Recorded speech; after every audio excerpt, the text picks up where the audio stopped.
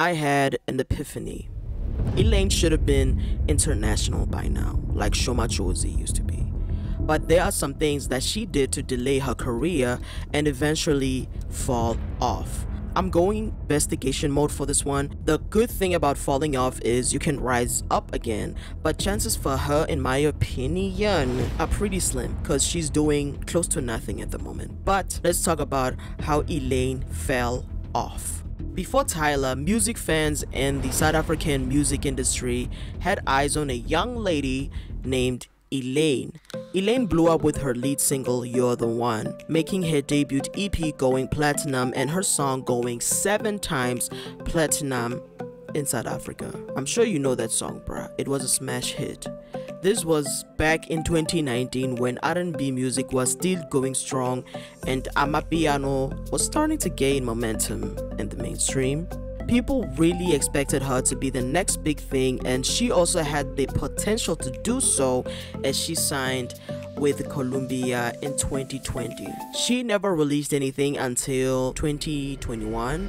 I think because of the pandemic, but I wish she would have released something and took advantage of TikTok as it was at its peak when it came to its algorithm. And her not releasing anything that year was her first big mistake on why she fell off. Now, I don't like using the words she fell off. I couldn't find better words and when I say she fell off in the context of this video, I mean it refers to a decline in an artist's popularity or overall quality of their music, it suggests that the artist's recent work is not as impressive or successful as their previous efforts. It's often used colloquially by fans or critics to express disappointment in an artist's recent output compared to their earlier work. I hope that makes sense. Since 2023, people online have been saying what's happening to Tyla is what people expected from Elaine. And I totally agree. Now, let's dive deep into that statement and analyze why and how Elaine fell off then Tyla took off. Not to compare the two, I'm just diving deep in that statement. I got receipts, okay? Number one, Elaine kept quiet throughout 2020. Elaine released her debut EP Elements on the September 29th of 2019, marketing and promoting the song pre and post released throughout that year. She released visuals for her lead single and rollout song which were You're the One and Risky. You can tell that those videos were pretty expensive, but I'm sure it was paid off. Her EP is certified platinum and her lead single is so close to becoming diamond. 2020 came with a pandemic. She signed in 2020, then went mute that year. Like, what? Everyone in the music business knows that when the pot is hot, you gotta start cooking, but then she went on and turned off the stove. Like, dude, when you're new and there's hype around you, you have to feed the hype. There's a reason why people say you have to milk the cow when there's hype around you, especially when you're new in an oversaturated industry, you're easily replaceable. We can find someone else to feed our cravings.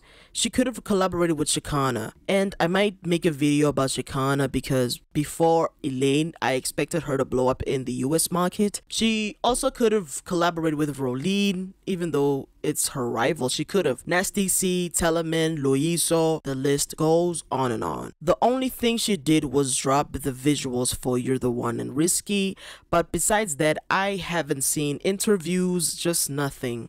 But we can't go back in time, unfortunately. We just have to learn from the past and other people's mistakes. On the other hand, Tyla did the opposite. Getting Late came out in 2019. She marketed the song even during the pandemic, but don't forget that Tyla had already built up a following long before her debut single. So she wasn't quiet in 2020. She was growing her followers and developing her sound. In 2021, she officially dropped the music video, which opened more opportunities for her. Number 2. Elaine signed with Columbia Records. That Guys, before you sign a record label, please do your research on them and read your contract. Like, because you can't trust these record labels. And it's not Columbia Africa, it doesn't exist. It's the Columbia Records that have headquarters in New York, which is huge, but at the same time, it's not. Columbia is known for shelving their artists for years before taking them serious. Columbia fucked it up. And she's also competing with her label members like Beyonce and Adele. Now, if I'm competing with Beyonce, I know that the attention is always gonna be on her. What about me? On the other hand, Tyla signs with Sony Music Entertainment under Epic Records with a joint venture with Fax Records. Don't forget that she's also under a creative agency that gives opportunities to play gigs open for big major artists, etc. As we know, artists who do more than singing, aka who dance and perform, make more money because they get booked a lot and she was already set up for success. They bought her for $2 million. It's enough to break someone and monetize off of that. Number three, her sound changed. Well, kind of. She dropped her single right now, and the response was more bad than good. For me, it was cool, but I think I liked the music video more than the song. I liked the song, but not for me to go stream it, if you get me. I know the lyrics, but only because I watched the music video on TV and nothing else. But on Black Twitter, people don't lie. Right Now was a decent song. It did sound like something she would release. It looked like a part 2 of Risky. Her next song sounded more pop than R&B and her song Shine. But before that, she did drop Deja Vu and Fading Away, which didn't really get pushed from the label or her. Until this day, we don't know if the songs are certified gold or what, or how many units it sold. In my humble opinion, that song ain't it. Shine, mm -mm -mm. Maybe they were trying to make her appealing for the American market. I don't know. She could have built a strong fan base, but she isn't consistent in her brand. But tell me guys, what are they doing trying to get her to do Amapiano? I do like the song Loving You with Blackie and the song that she did with Major League DJz, I forgot the name of it. But I understand though why they she or her label, whoever decided her to do Amapiano, I understand why. She thought she could blow up in the States, maybe? Some things are not for you, I get it. And since she's Venda, I'm sure there's a genre she can blend in with in her culture. Maybe, I don't know, I still can't imagine collaborating with Makhadzi. That would be dope or very wild. For Tyla, everything is going great for her. They saw a polished girl who can dance, who can sing, who has made up her mind about the genre she wants to do. They gave her producers who can blend genres, songwriters who wrote songs for Beyonce. Tricky Stewart wrote my favorite songs for my favorite artist. That's that man is a living legend, bro. Ari PenSmith.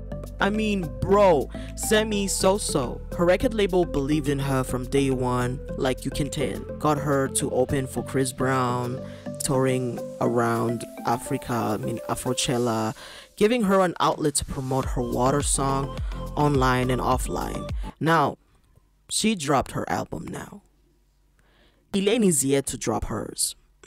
like, hey, her not making music with her producer she started with when she was releasing her EP Elements played a huge part because your producers know you best and you can definitely tell when there's chemistry between musicians. I personally think she could have stayed independent, maybe signed with the creative agencies that can help her build her brand, market her to other countries, give her opportunities to open up for major artists, help with her brand and, and so on, and meet up with some of the best songwriters. It requires money, I know, but I'm sure she has plenty of it.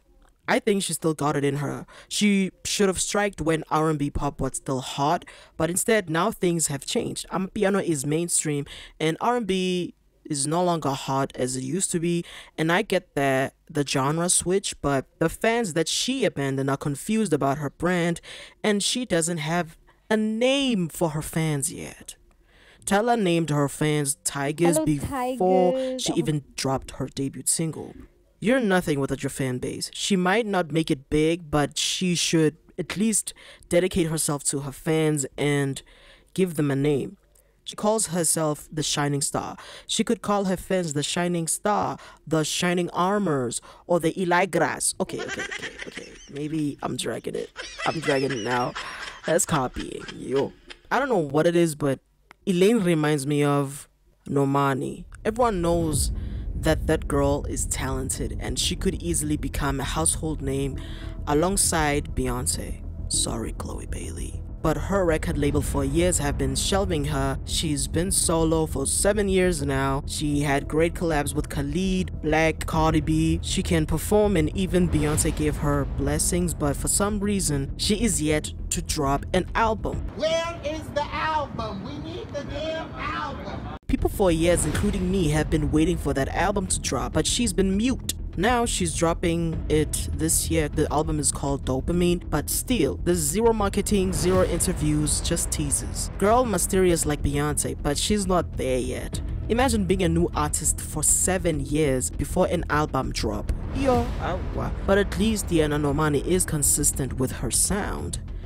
Question of the day. What do you think Elaine should do? Let me know your thoughts in the comment section below and I'll see you there. Don't forget to like, share, and subscribe if you like videos like this. Let's conversate and debate and just like that, we out.